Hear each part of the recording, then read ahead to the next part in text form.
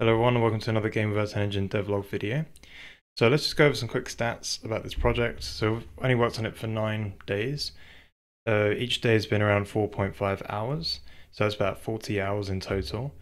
And it's all 100% streamed, so you can catch every minute of it and see exactly what's gone on uh, throughout the pro process of this, this project. And it runs on Linux and Windows. So there is a VOD channel, which I'll leave links to in the description and talk about more later.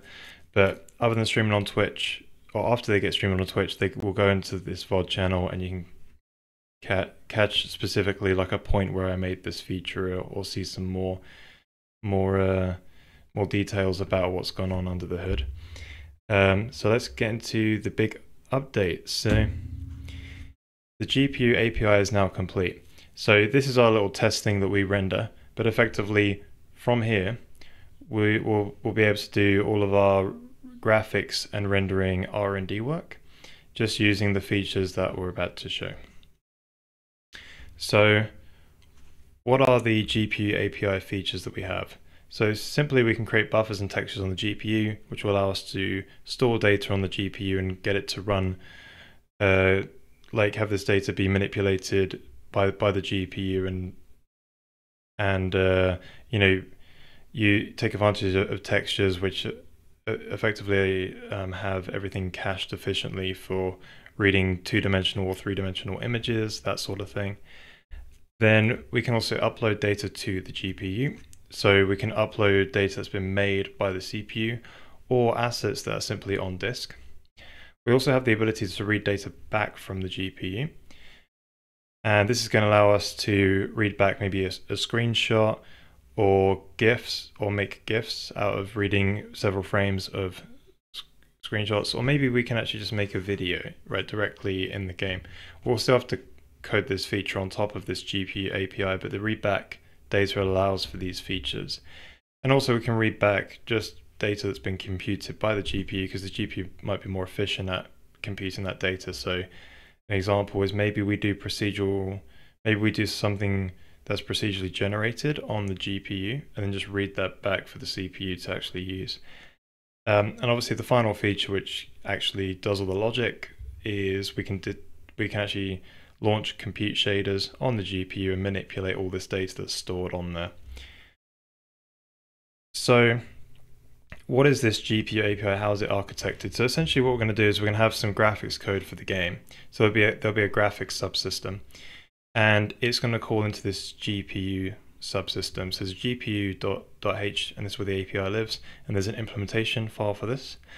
And then there is a header file for the, the GPU backend. So we've abstracted, we have like this this more like lower level API where each back each backend can implement this API so make it easier to port to other platforms. So we have this an implementation file for the, the Vulkan backend. Somewhere around 2,000 lines of code right now, um, and it shouldn't probably change too much from that. But it implements all the features we've just gone over. So it's it's full compute, and there's no traditional triangle rasterizer API in there at all. Just um, just for using compute and and uh, creating buffers and being able to upload to them and read back from them. Uh, so let's just quickly break down this frame that we're, we're we are rendering and and uh, what sort of tests we've got.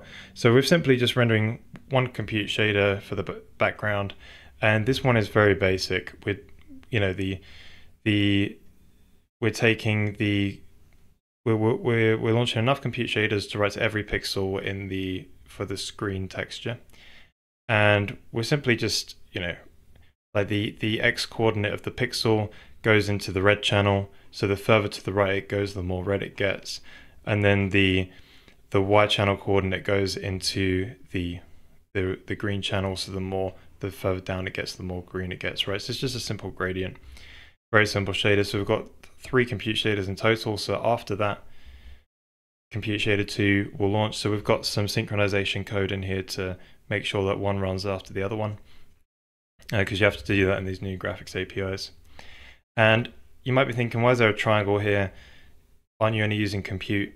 Well, someone on stream like said they missed triangles, so as as a bit of fun, I just used a, a sign distance field function, which is probably a bit overkill. um, in like thinking about it, but it's just the way we've done it. And we found a bug in the compiler, so we went in and fixed that bug in the compiler as well. Um, so it, it, was, all it was all worth it in the end. So just just an example, we just use one of um, these sign distance functions from from from this blog here, and it just effectively gives you the distance to the edge of the triangle, and rendering this, you could like this renders like a perfect triangle, but you can also use it to like subtract shapes from other shapes because it's a sign distance field, or you can use it to like you can also like make the shape bigger and it becomes more rounded. Um, so there's lots of interesting stuff you can do with sign distance fields. Uh, we're not going to probably explore too much of it of these with this project. Um, but yeah, just uh, an interesting side note to this compute shader too. So just it just tests more of the the shader compiler you see as well. Um, and then comp compute shader three is simply testing the fact that we can upload an image to the GPU. It's going to live on the GPU persistently, right? Just lives there, and we just can render every frame. And so it's just our logo, and simply I, uh, I just cut out the background um, based on how how close the the color is to black, and then it just gets rid of it. So it looks transparent basically, but just discards it. Um, so yeah, that's that's about that one. But also, if you zoom a little bit further out, what Compute Shader 3 also does is it prints out to the terminal. So you might be thinking, how does it do this and how how did you achieve this? Well, part of part of my shader compiler allows us to print strings out in or, or take a string and print out into a buffer. So we have our readback buffer, and essentially we have a printf function that we that we have that's implemented on the GPU, and all it does is it copies the string, puts it into the readback buffer, and then we put in the arguments into the buffer, and then the CPU picks it up, and then it will do a formatted print into the actual console. So this allows us to get full-on printf working work like to print out values that came from the GPU, so we can actually debug and see the exact value that's been computed on the GPU, which is something you don't actually have in these in in graphics APIs like at all. I think they've started to add it in in some SPIR-V version, but it's not as good as this. Um, so this is going to be super helpful when we do our graphics R&D because we can actually see the exact values that go on. Um, so I'm super happy about this feature as well. So what features up next in this project? So we're, we're just about to work on virtual memory, custom memory allocators, because we just started on the on the graphics because it was the most complicated thing that I wanted to do in a very simple way. And so now that I've achieved that, I can now like just do more of the engine part. So we're going to come in and and do more of what the, the core engine stuff. So virtual memory, custom memory allocators. Uh, we want like a stack implementation so we can have like some array that grows and shrinks. Uh, and then we want to also have a hash table and object pool because uh, these are also some two two collections that I really like. Then after that, we want to have some keyboard input and also support some form of gamepad. So because you know it'd be great to use the keyboard, but also if I'm doing some some R and D work, it might might just be nicer to use like a gamepad.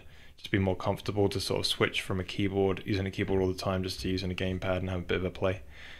Um, and then after got these things in, I would consider the core engine part uh, basically ready. And all I need is some form of custom UI so we can sort of tweak some values on the fly or or just, just build some UI that will help us debug like what's going on with this graphics R&D.